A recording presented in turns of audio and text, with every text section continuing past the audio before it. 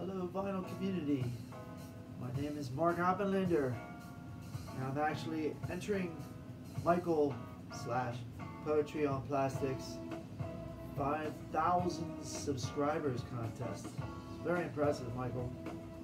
We've been in touch, you and I, over the, the years.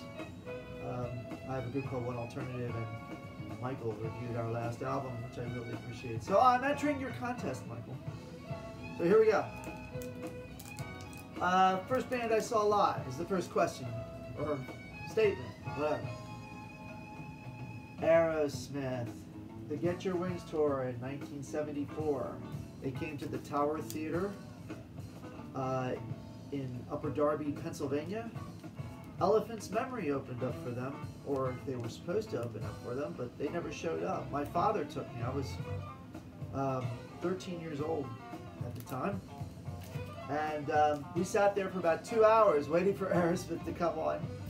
I was just amazed at the place. The Tower Theater, if anybody's ever been there, is a wonderful place to see music. I think it just closed. I think it did, or maybe the, maybe it's not. It didn't close, but the, the big sign, the tower, was taken down last year. Anyway, that was my first concert, and um, I, it was fabulous. I was so Aerosmith. What a band to see live. Oh my. Okay. What was I listening to at 17 years old? What you are listening to is what I was listening to at 17 years old.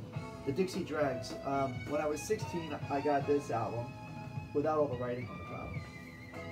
And when I was 17, I was eating this up alive. The Dixie Dregs, What If. They were the main reason, they were like after the Beatles, the Dixie Dregs took me to the next level musically. The Beatles got me started. The Dixie Dregs said to me, I could do this possibly as a uh, way of making a living.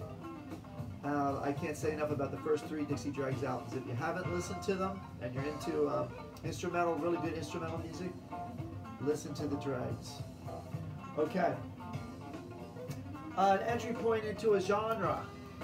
Going along the same kind of lines, the first time I ever heard what we would now call fusion music was this album, Billy Cobham's Spectrum. Uh, it was played on the local uh, radio station WYSP and probably WMMR for those of you in the Philadelphia area. This was played, I was 12 years old when this came on, and I was nuts about this stuff. And I thought his name was Billy Coblin, but I knew he was a drummer because they played a lot from this album.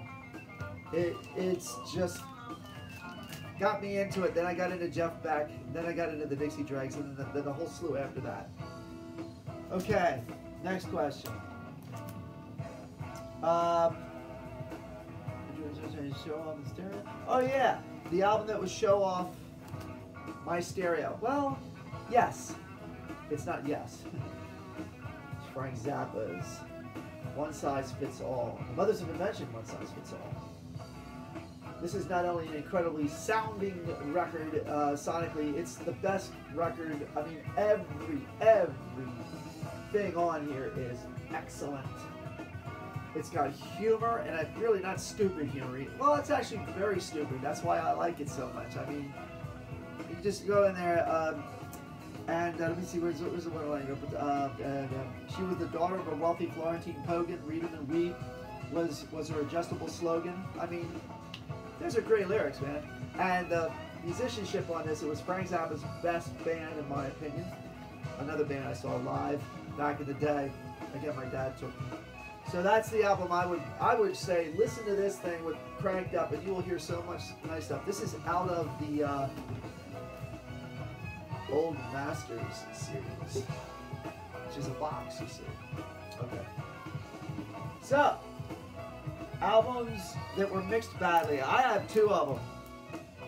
I love these albums. Um, Chicago's second album. After listening to the first album, album CTA, and then going to this, you can hear a big difference in the sound. It sounds like they just put a sock over the microphones. I don't know what happened, but it just didn't, it just was not good. And I understand that there are remixes and remasters, and I'm going to have to find something because uh, this is a fab album. Another album that I really, really loved and still do is Derek and the Dominos. This is the 50th anniversary of this album. This is um, probably a 70s or 80s uh, you know, of the original mix. It's been remixed and remastered and blah blah blah. Uh, the remix I, I bought as a CD, and they pulled the drums back. And Jim Gordon's drums are too good to, to be taken back in the mix, ladies and gentlemen. Um, great album. I hopefully will find a better sounding album in the future. Um, the last question, an upgrade. I don't really want to upgrade at this point. There's nothing to upgrade. I mean, I'm pretty happy with what I got. I I have Magnepan speakers and a I don't know a uh, I don't even know what I got. An Accuphase, a really nice Accuphase uh, receiver. It's not a receiver. It's an integrated amplifier, and uh, so on and so forth. Um, if I were gonna get anything, it would be a CD changer. You know, with the five CDs in it. I still like CDs.